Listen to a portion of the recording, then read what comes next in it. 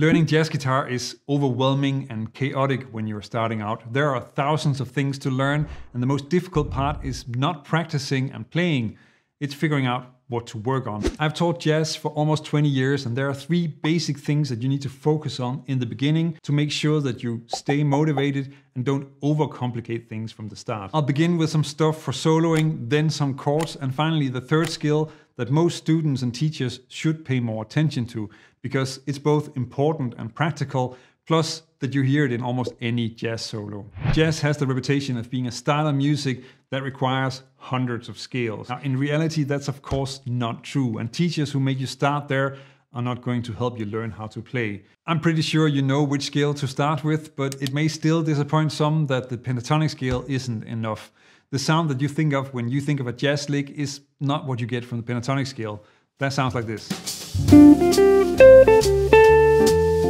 compared to a bebop inspired line. There are just some things that are not there in the pentatonic scale. So how do you start working towards that sound?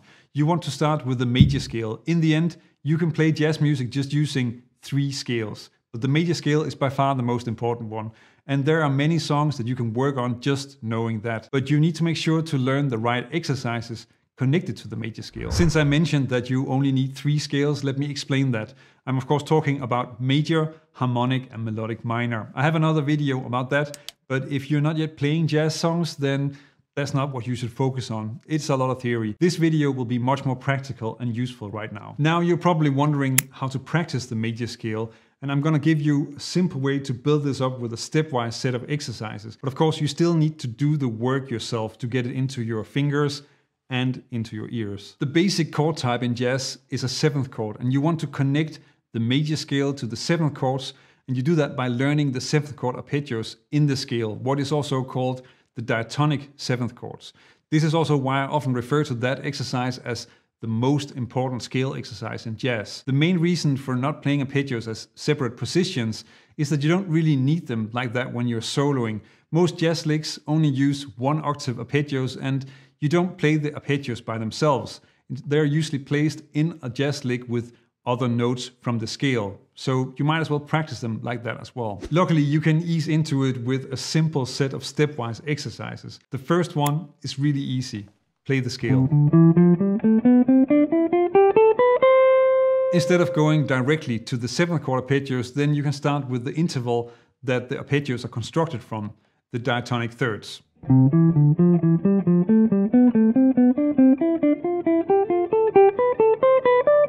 And similar to the next exercise, the diatonic thirds are useful for you to become more flexible with the scale, and you also need these intervals in your solos anyway. If you stack two diatonic third intervals, you get a triad, another structure that you want in your ears and in your fingers, since it's incredibly useful for soloing. Now, it kind of also makes sense to add the name of the triads in the exercise, which I did. Check it out.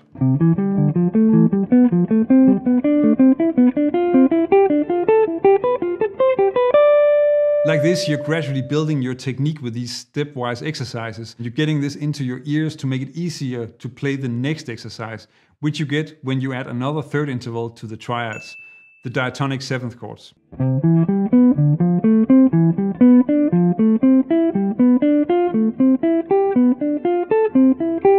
This exercise helps you with several important things. You have arpeggios for all the chords in the song so that you can play solos that really nail the changes. But what is just as powerful is that you can also learn to use several different arpeggios over each chord, and in that way have many options for great lines over every chord. Check out how much you can do with this in this short example.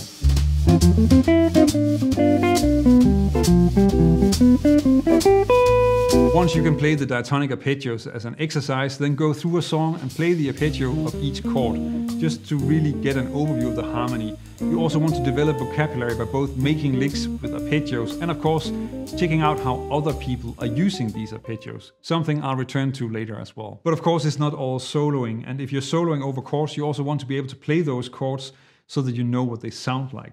Let's look at that. Jazz beginners waste a lot of time learning different voicings and lots of inversions without being able to play songs or do anything with all that material. And sadly, this is a very common problem. Instead of starting with complicated chords with lots of extensions, then it's a thousand times better to start with a much simpler foundation that you can later add color to and that you can use to play the songs and hear the harmony. The chords that you want to start with are the shell voicings. Easy, complete and flexible three note voicings for seventh chords.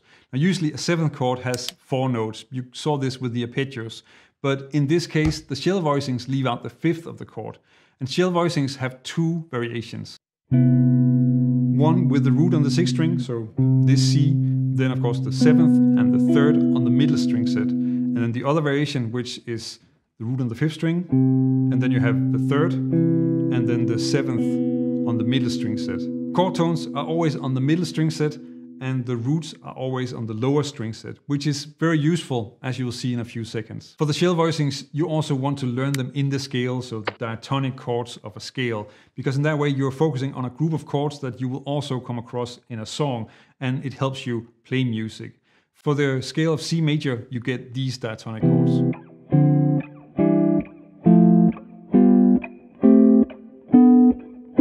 And you want to check out these with the root on the sixth string as well, of course, and here I'm starting with the fourth note in the scale, so with an F major 7, but I'm still playing the diatonic chords of C major.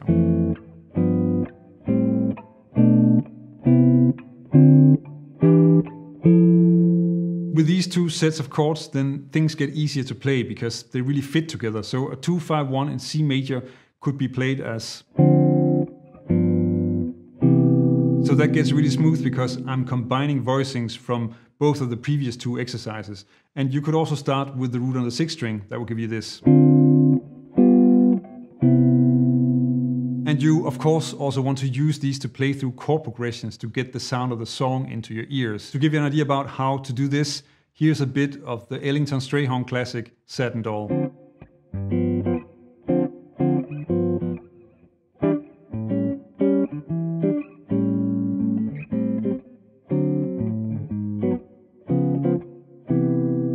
Later, you can start to expand on the chords by adding notes, melody, and turning them into rootless voicings. I have another video that goes over that process, which you can check out. I'll link to it in the description. But first, I think you want to check out this skill, which is often left out but is essential to develop because it's at the very core of the jazz sound. When you start learning jazz, then it's only a matter of time before you come across somebody who will tell you that bebop sounds like Bach. And there's a reason for that. When you listen to a jazz solo, like the Charlie Parker solo on Private that I showed you earlier, then you can see how the lines really move towards strong chord tones on the downbeat. And that gives the solo direction and a lot of forward moving energy because the melody is always pushing ahead. This is probably one of the things that you like about jazz if you think about it. And that type of flow is something that you also find in the fairly dense melodies of Bach, which is why those two are connected so often. But if you're just starting out and learning how to play the right notes over each chord, then you're probably not thinking about how the solo flows and more focused on finding and playing the right notes on each chord. And that means that a solo on a blues in F probably sounds something like this.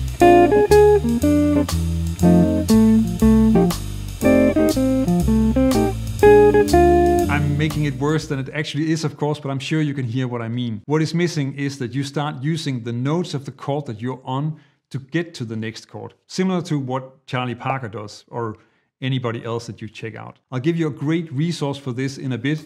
It should sound more like this.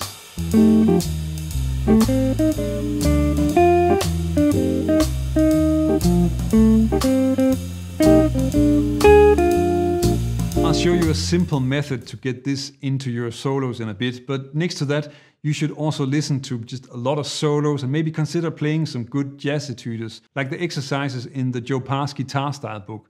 That is a great way to hear this in action. There's a link to the book and of course the video that I made about it in the description. Let's check out how to practice toward a real jazz flow. This is not magic and very much something that you can learn. What you need to do is to take the notes of the chord that you're on and use them to make a melody that points toward a note in the next chord, what we often refer to as a target note. This makes your solo sound great because it has a natural flow where the melodies log in with the chords, and it also just makes sense. It's not random notes over chords because they're actually going somewhere. Your solo also put the chord tones on the strong beats in the rhythm, so the harmony is very clear and you can hear chords change and also what chords are in there even without any backing. A simple example to get started would be something like this. If you're practicing to improvise over the F blues, then a basic version of this is to take the arpeggios of F7 and B flat 7.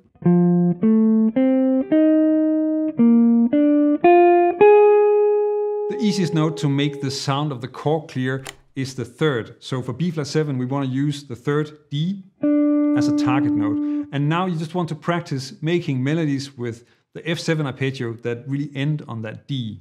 Something like this. When you play like this, then there's a connection between the two chords. It doesn't sound like different notes on different chords. It sounds like a melody, and you can clearly hear the chord change. Now, of course, you want to explore different ways to play lines like this, even with just a simple set of notes like the four chord tones of each chord. But of course, it's difficult to make interesting solos if you're limited to only using one octave arpeggios.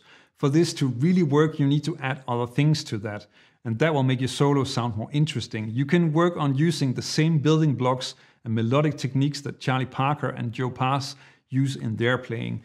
Jazz is a rich language and you can get very creative with the melodies in your solos. That is a next logical step after starting to work on these three skills. And I talk about that in this video, which will give you a great foundation for developing your lines and making your solos really sound like jazz. Check it out.